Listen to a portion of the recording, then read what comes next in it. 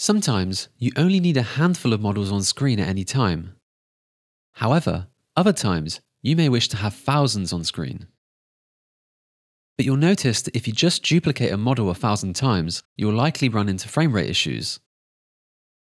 So, how do we get from 1000 models and this frame rate of around 10 to something more acceptable with a frame rate of at least 60? There are many different approaches to solving this issue, but one I've been using in my own projects is a project by Unity Technologies which they've called Animation Instancing.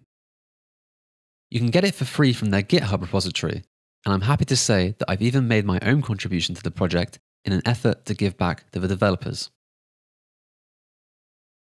In this video, we'll create a scene with around 1000 models and demonstrate the low frame rate. Then, we'll cover how to employ animation instancing to improve it.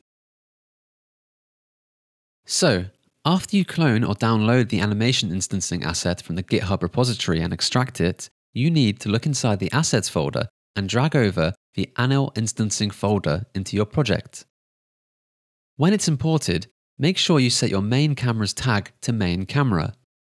This is because some of the animation instancing code refers to camera.mainCamera, so not having it set will cause errors at runtime. Let's quickly download and import a free model for our demonstration. I'm going to use this zombie model by Pixel Tiger, because having a horde of zombies makes sense. When that's imported, I'm going to navigate to the zombie prefab and drag it into my scene. To keep things simple, I'm going to modify the animation controller so the zombie does nothing but walk in place on the loop. Let's run the game and see how that looks. Great, we have one zombie walking on a loop. Now let's make that 1000 zombies.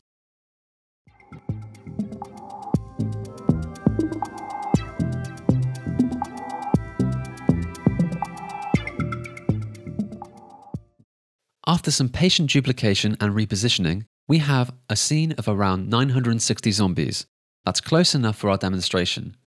We will refer to them as 1000 zombies to keep things simple.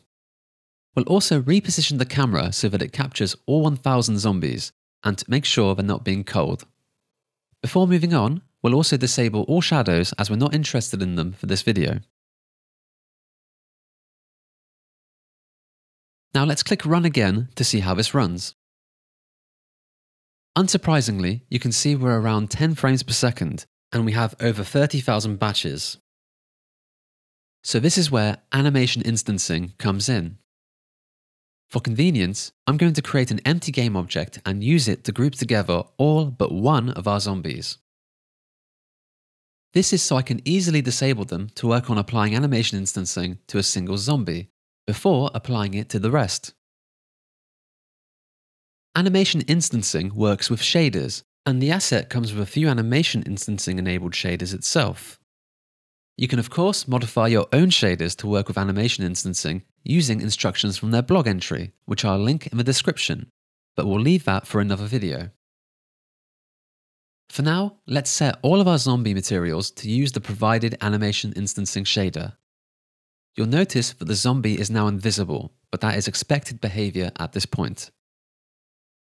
As well as the shader, animation instancing needs two more parts to work.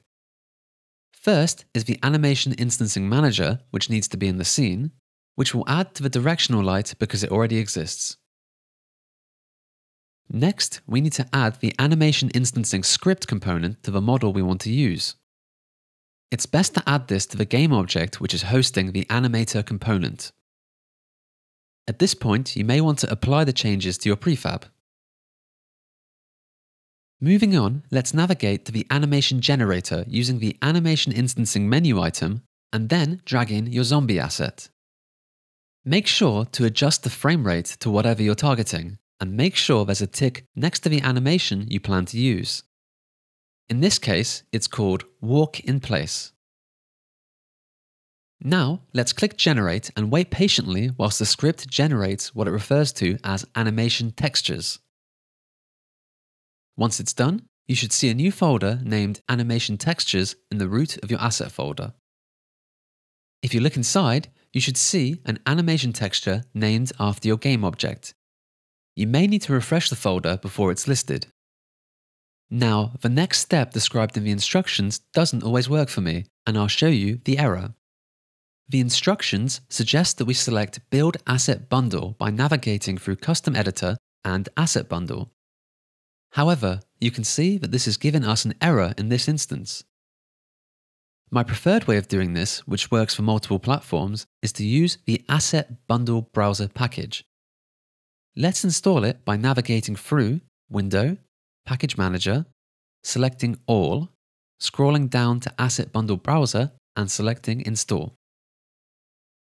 Then we navigate through Window to select Asset Bundle Browser and we can dock this window wherever we like.